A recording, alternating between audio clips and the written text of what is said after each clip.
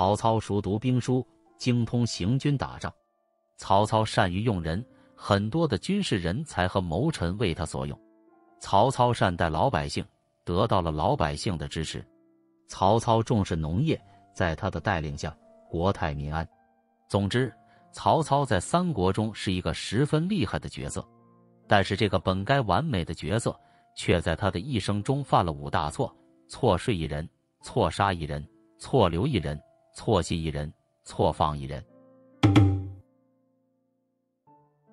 公元一百九十七年，曹操与张绣打了一架。按理说，曹操拥有着精兵强将，张绣根本不是他的对手。只是张绣早已经投靠到了曹操的门下，又是突然发起了攻击。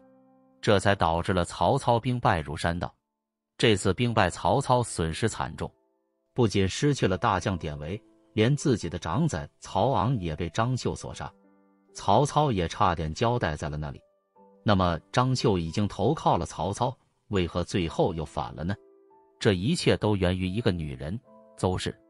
公元一百九十七年，曹操率军讨伐张绣，张绣知道自己无力抵抗，直接选择了投降。不费一兵一卒就拿下了张绣，曹操十分高兴。当晚举行了盛宴，款待了一众手下。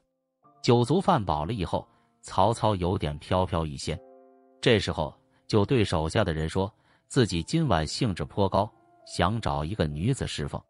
这时候，曹操身边的人说道：“进城时看到一位美丽的少妇，这个人叫邹氏，只不过这个人是张绣的婶娘。”听到是张绣的婶娘，曹操并不在意，因为张绣都被他收服了，何惧他的婶娘呢？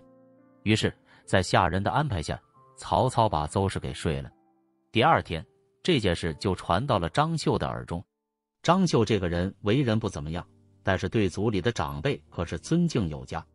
听说自己的婶娘被曹操睡了，这可是丑事一桩，顿时火冒三丈，这让他以后怎么在族里混？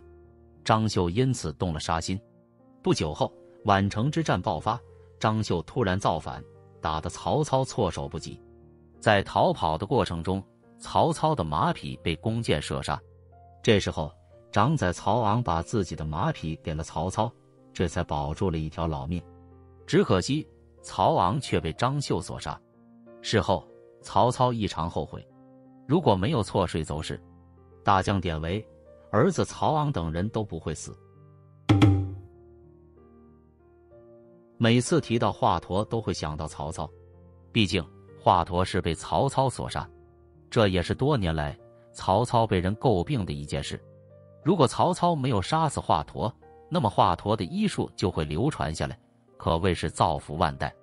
按理说，曹操是当权者，华佗多次违反自己的意愿，应该杀。再加上华佗给曹操看病时说要做开颅手术，对于这种手术，即使是放在现在的医疗水平，也不敢轻易的去做，更别说当时了。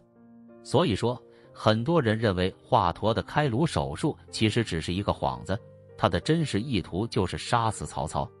而曹操又是疑心很重的人，所以当他听说华佗要做开颅手术时，认为这是华佗要谋害他。因此才杀了华佗，但是到了晚年以后，曹操却非常后悔杀了华佗，尤其是最疼爱的儿子曹冲弥留之际，曹操就后悔当初杀了华佗。如果当时华佗在世的话，说不准就能救活曹冲。我们常说，身边有危害就要尽早的除之，以免带来祸患。然而，曹操如此精明之人。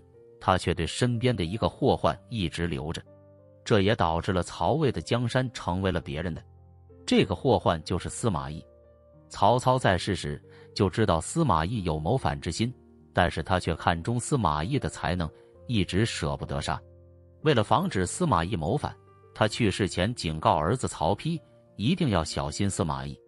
只可惜曹操之后，他的儿子都很短命，又加上司马懿又太能活。以至于曹操留下的这个祸患，最终颠覆了魏国。曹操多疑的性格让他不敢轻信任何一个人，但是唯独对黄盖十分信任。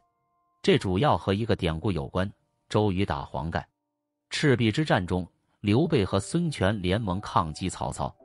曹操的士兵都是北方人，不善水战，于是曹操就把战船全部用铁索连在一起，这样就如履平地。面对曹操的大军，周瑜提出用火攻的建议，但是火攻需要有人靠近曹操的船只放火，而曹操又多疑，于是周瑜就想到了毒打黄盖的办法，让黄盖诈降。结果被毒打一顿的黄盖向曹操提出归降的意向，曹操想都没有想就答应了。后来黄盖乘坐装满火油的船驶向曹操的战船，在没有任何防备之下，被点燃的船只顺势烧着了曹操的战船。由于战船用铁索连着，短时间内根本就分不开。最终，曹操因为错信了黄盖，在赤壁之战中大败而归。有人说，如果当初曹操没有放掉刘备，而是杀了，那么曹操南下时就不会出现什么孙权和刘备的联盟，曹操就可以轻而易举地拿下天下，坐上皇帝的宝座。其实这也是后话，毕竟谁也没有想到刘备会在后来中发展的如此厉害。按照当时的情况，曹操放了刘备是利大于弊。首先，当时强者林立。有袁术、袁绍这样的强敌，刘备根本就没有任何的实力，只有刘关张三人和少量的兵马。在当时看来，刘备根本就没有资格争抢天下。对于这样的一个人，曹操根本就不会动手杀了他。又加上那时候的曹操正在收拢人才，如果杀了刘备，就会毁了他的威名。而且刘备素来有贤名，又是西汉中山靖王刘胜之后。杀了他，有可能会失了人心，所以曹操思来想去，还是放了刘备。当然了，如果按照三足鼎立成型以后来说，当初曹操放了刘备，确实是放错了人。如果曹操把以上五大错事全做对了，那么对于他的江山以及三国历史都有可能改写。尤其是错放的刘备、错信的黄盖、错留的司马懿。每一件事都可以改变曹魏的江山，只可惜人无完人，即使是三国枭雄曹操，也有不完美的一面。对此你怎么看呢？